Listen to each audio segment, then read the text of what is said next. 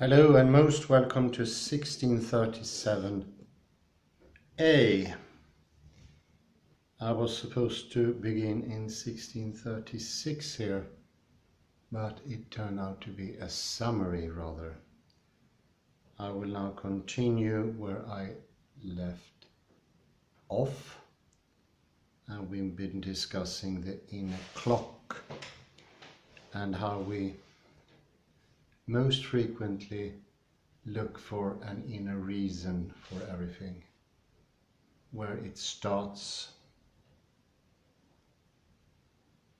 the upheaval, the beginning, why it started,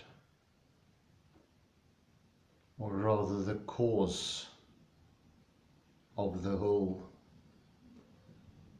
and consciousness somehow should be like the inner clock, something inwardly, maybe almost like a ticking device made of biological matter deep inside of the brain, giving us the internal clock.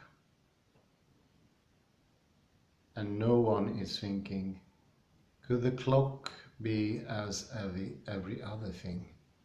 Uh, we learn how to talk different languages, how to estimate length, meters, kilometers, weight, volumes.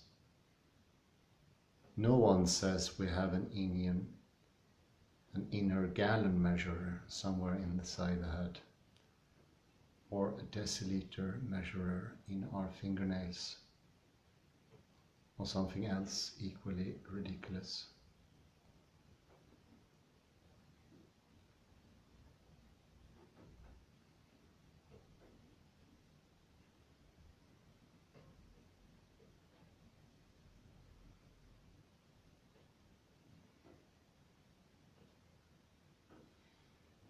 No, it's better to think of these things as acquired in the outer language game not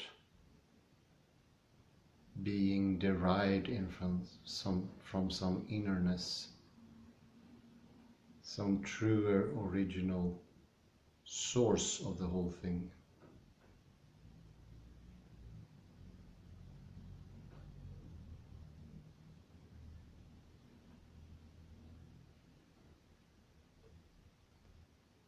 We learned in relations to others and in exchange to others.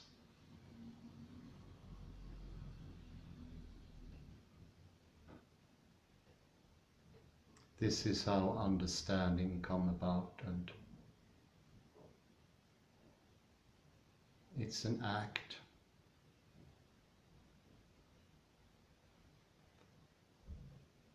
And we will never be able to explain it despite this so-called scientific claim of an a superior or ulterior, ulterior motive for how it can sort of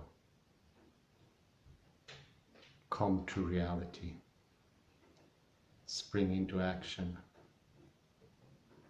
to be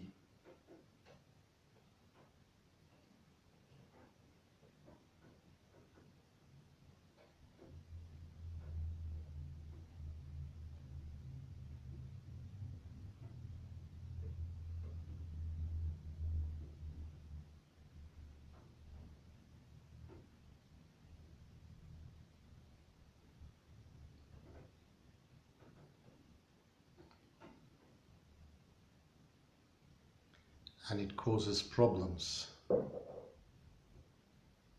And I think maybe one thing that most people don't think of is that all of a sudden clock function is apart from every other function of our system easily separable as the clock function.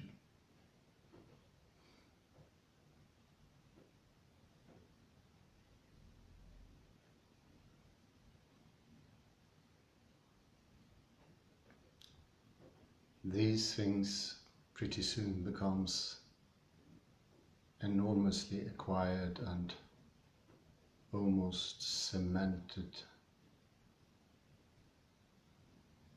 It becomes the foundational, we think, of everything else. This is how it starts.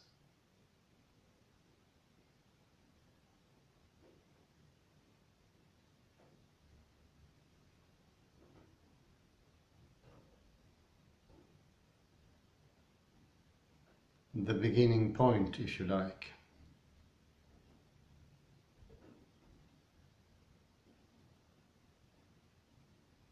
The origin of a, such a simple thing as telling what time it is.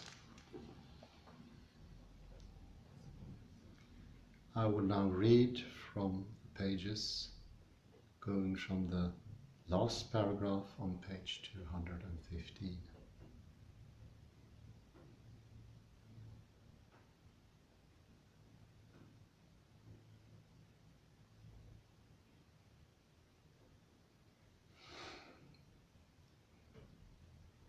Against this, one might object that while the idea of an inner clock is wrong the demand for some form of scientific explanation must be right. After all, if one person can accurately guess the time and another can't, there surely must be some scientifically detectable difference between them.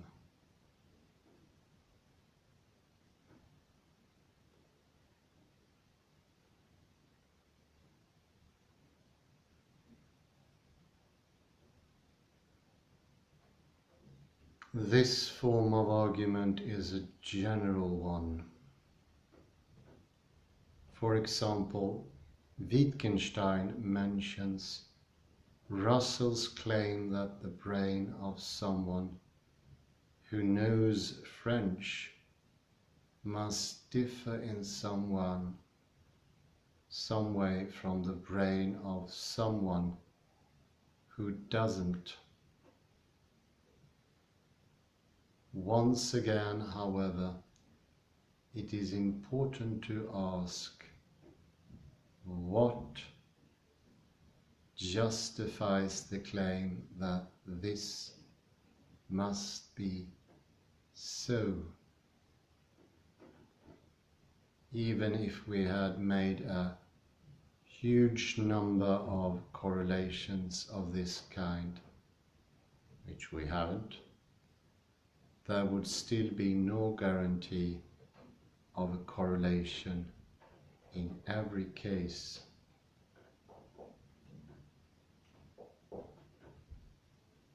Despite this, we are still inclined to say that there must be one.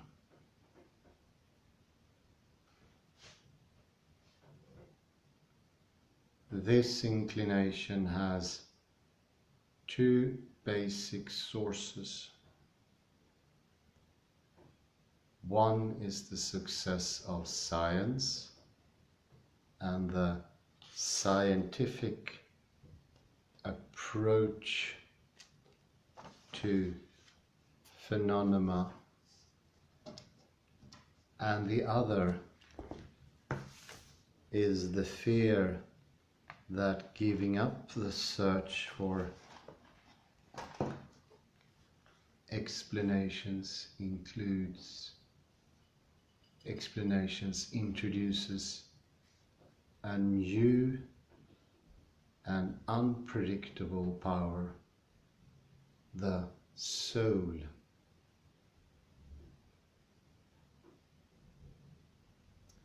We shall consider the first point shortly,